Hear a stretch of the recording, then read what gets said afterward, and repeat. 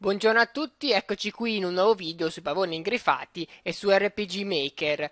Oggi parleremo eh, di un argomento che avevo già accennato minimamente nel video precedente, cioè eh, di uno zombie o di un mostro che eh, cercherà di seguirvi e in caso in cui vi toccasse eh, ci inizierebbe il combattimento. Quindi diciamo una, una, variante del solito combattimento dove o tu clicchi sul nemico o lo trovi nell'erba alto comunque casualmente nella mappa. Eh, per farlo ora vi faccio vedere intanto l'esempio. Qui siamo nella mappa di Zeb89. Vediamo. Eccoci qui. Vedete tutti gli zombie ci stanno piano piano seguendo, ovviamente vanno abbastanza lenti perché sono zombie, ovviamente siamo incastrati qua, non possiamo più uscirne e quindi per forza di cose affronteremo eh, lo zombie. Che ora vado a uccidere. Usiamo il fuoco che so che gli fa davvero male.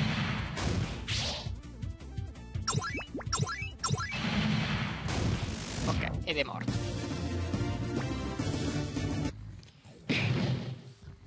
E ora non c'è più vedete? Uh, proviamo anche con questo. Vi faccio anche vedere come, come ho fatto a farlo scomparire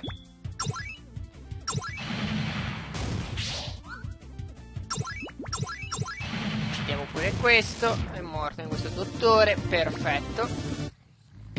Vedete esploso qui o comunque quel che è è sparito. C'è un'altra pozza di sangue ora siamo incastrati. E, rimarranno per sempre queste pozze di sangue. Non, non se ne andranno se voi cambiate mappa. Per farlo intanto uccidiamo pure questo zombie qua sto zombie. Muori perfetto Ok. Per fare questo uh, non ci vuole chissà che, uh, non ci vuole nessuno script, ci vogliono solo dei passaggi molto semplici che ora vi farò vedere. Allora, creiamo un altro zombie, anzi, creiamo un'altra mappa. Creiamo una mappa, andiamo qua, non lo so, nuova mappa. Uh, che cazzo ne so, mondo, ex, mondo modern exterior, è uguale, non è che... L'importante è creare una mappa così molto banale. Ok. E qua metteremo intanto posizioniamo il nostro personaggio qua impostazione eh, iniziale giocatore qua per farlo comparire appunto in questa mappa quando iniziamo una nuova partita. Impost impostiamo un personaggio quindi lo zombie come l'ho chiamato? Zombie zombie sì. Qualsiasi zombie lo prendiamo. E cosa facciamo qua Andiamo qui su movimento autonomo, verso eroe, e questa è la velocità in, con cui vogliamo che si avvicini. Essendo uno zombie, secondo me eh, la velocità di default va benissimo, ma potete, scusate, potete anche aumentarla, non so, fare come se fosse una persona normale, solitamente dovrebbe essere normale e velocissima. Sembra strano, velocissima, ma camminerà in modo più naturale. Ora andiamo a provarlo. E ovviamente in questo modo eh, il nemico si avvicinerà soltanto a voi, non succederà niente. Eh, per far sì che inizi il combattimento dovete fare qua. Intanto cambiare eh, qua inizio con tasto azione, dovete cambiare tasto azione, dovete mettere contatto con l'eroe, molto importante, se no non funzionerà eh, mai, funzionerà solo se appunto lo se non lo toccate ma se voi ci cliccate sopra. Quindi con contatto con l'eroe, appunto, quando eh, lo zombie eh, si avvicinerà e vi toccherà, inizierà qualcosa, che sarà il combattimento. Noi andiamo qui su contenuti, eh, inizia battaglia, e beh, vabbè, uguale, mettiamo bimbo minchia, un cambiamento, un, comunque una truppa che voi avete già creato, e facciamo bimbo minchia. Ok? E così teoricamente proviamo, se noi proviamo continua. Nuovo game. Ecco vedete quanto è veloce? Aiuto! È velocissimo! Vi seguirà sempre nella mappa non vi perderà mai eh, d'occhio. In qualsiasi punto della mappa voi siate eh. dietro un muro non cambia niente. Per lui vi vi vede sempre. Ok. E vedete mi ha toccato e il combattimento inizia. Molto semplice. Se lo uccidiamo Cosa succede? Una minchia. continua ad attaccarci all'infinito, non finirà mai. Non è quello che vogliamo noi, ovviamente. Noi vogliamo che esploda o succeda qualcosa comunque. Eh, per far sì, bisogna andare su zombie, ovviamente.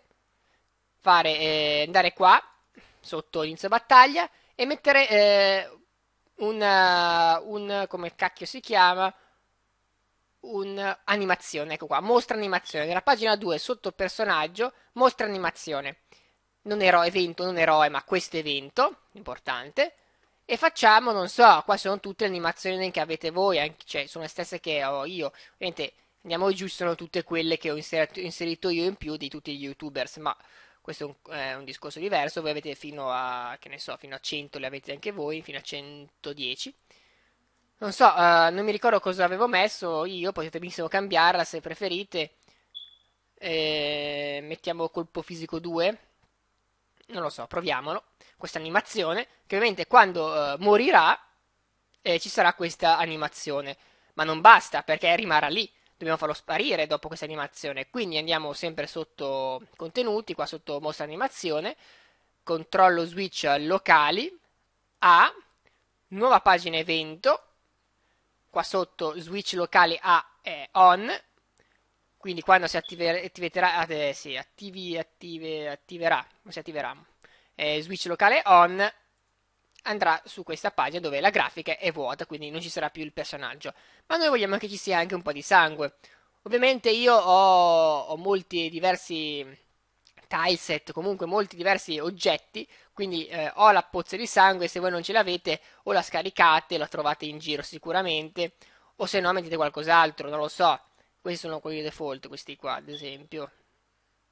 Ma non, questo, tipo questo potete mettere questo schifo di fuoco, non lo so, potete mettere qualsiasi cosa che vi garbi, una bottiglia di vino, non lo so. L'importante, ecco qua, io ho questo tileset e ho il sangue qui, quindi metto il sangue in, nel mio caso, ma potete mettere qualsiasi cosa, qualsiasi grafica. È importante lasciarla così default, che non vi segua, se no vi seguirà una pozza di sangue, mi sembra molto uh, strano. Ok, quindi ora possiamo provare e dovrebbe funzionare.